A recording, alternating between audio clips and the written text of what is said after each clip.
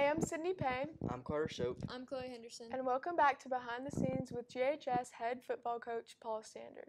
From the game against East Jackson uh, two weeks ago, we interviewed Kobe Stonecypher last week, and he said after the first drive, whenever they scored, that he turned to Seth and they talked and they, they knew they had the game from then on. Is there a point whenever you thought in that game that y'all just had it? Well, I felt like in the second half, when we went up two scores, that we were starting to take control of the game um, by taking control of the line of scrimmage. And uh, obviously, they, uh, being a, a pretty good football team, were able to, uh, you know, come down and score and hold us and score to go ahead. But I never really uh, quite honestly, I never was worried because we had been able to move the football throughout the game. Um, I was very proud of how our guys responded when we got down late in the game and was able to execute the plays to get us down the field. Obviously, Kobe, um, well, everybody had a big hand in it, but Kobe made some great plays, uh, as well as did Dom Tarantino. Um, you know, in the offensive line, I mean, it was a total group effort. Uh, but yeah, I'm, I'm glad to know that Seth and, and Kobe, who are two of our big leaders, felt like we were okay even after we uh, were behind early in the game. That's good to know. Were there any players that you like saw step up for the game that like first varsity start were younger that made a big impact for the game? Absolutely. I, you know, we started a freshman. We have been starting a freshman guard, uh, Blaine Banks, who actually had a great block in the last drive um, when we ran the reverse. Then we got sacked, and then we ran a little toss play.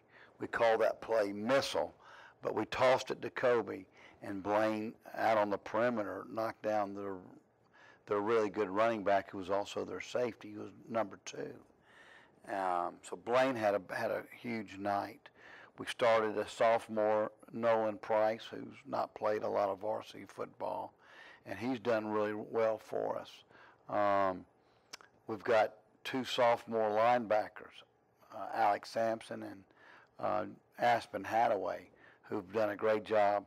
So yeah, our guys, um, though we're not very experienced overall, um, those guys really stepped up. So I was real proud of them.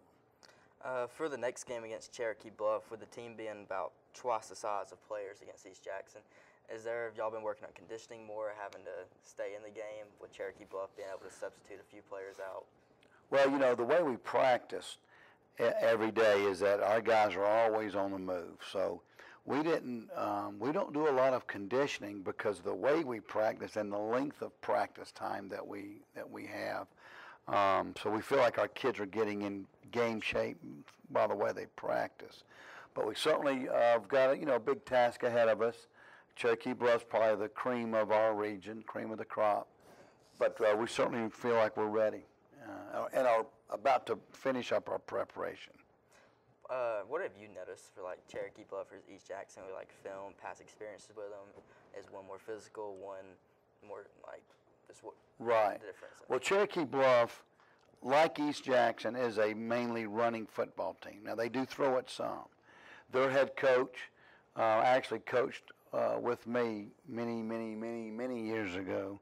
His very first year of coaching was on the staff that I was a coach on, so I've known him for a long time. He does a great job. They've got a great running back um, who they'll hand the ball to 25 times, you know, maybe even 30 times a game. So we've concentrated on obviously stop, trying to slow him down, but we've also got to be a little bit more conscious of pass this week than we were. East Jackson didn't throw the ball, even though they scored twice on us throwing it. They had not come into the game being much of a passing threat. So your main focus this week is just shutting down the run and then going. Yeah, slowing down the run and being able to uh, not give up any big pass plays um, on defense. Uh, coming off a bye week, do you think the extra rest will benefit the team, or the cause of uh, momentum will be like a loss? You know, I think the way we handled um, the open week, we practiced on Monday and Tuesday, um, and then on, and we still took some time to concentrate with the JV. Then on Wednesday, all we did was practice the JV. I let the varsity guys have a little time off. Um, and they were off actually Thursday. And we worked the JV, which I thought was very important um, to spend some time with those guys. And they had a big win over Fannin uh, that week, and so we were excited about that. Um, wh- what I've seen over my 37 years is that uh, I want our players to still want to be playing football late November, so we don't want to burn them out. So we give them a little bit of time off because that was our last open week. From here on out, it's you know football every day. So um, I think it, it really served its purpose. Uh, this year's team's offensive like concept has been the triple option. Uh, last year was just like, basic like wing T. Is there any reason you prefer this offensive style? Like what drew you to pick this style? You know, um, well, obviously, I've been running this type of offense for over, well over 20 years. 20 years as a head coach, right? and at St. Pius, and um, when I was the offensive coordinator at Dacula, we were an option-based offense. Um, why why I like this type of a, offensive attack is that number one, you don't have to have really big linemen. It's nice to have them, and we've got a few, but you don't have to have big linemen uh, to execute this offense. It is an offense that is um, suited for the type of young men that we have here. They're disciplined, um, they're unselfish. We don't have a feature running back, if you will, in the triple option offense, even though Kobe Stonecypher's had some big nights for us, and that's been great. There's going to be a night where in the in the fullback, Brock Titus has had a big night for us. But there's going to be a night where the quarterback's going to run it, or a night where the other running back, uh, well, the, the wing back, well, he might be the main ball carrier. It just depends on what the defense allows us to do. Um, but it lends itself to our type of uh, kids that we have here at Gilmer. It certainly was what we had at St. Pius, and it's hard for teams to defend because they don't see it anymore. They don't know it's yeah, they just they just don't practice it. When I was a young coach, everybody ran the option, so it was kind of common. As time has gone on, uh, less and less people do that, and so I think that also gives us an advantage. And that'll do it for this week's Behind the Scene with Coach Standard. Join us next week for our senior spotlight with quarterback Seth Darling.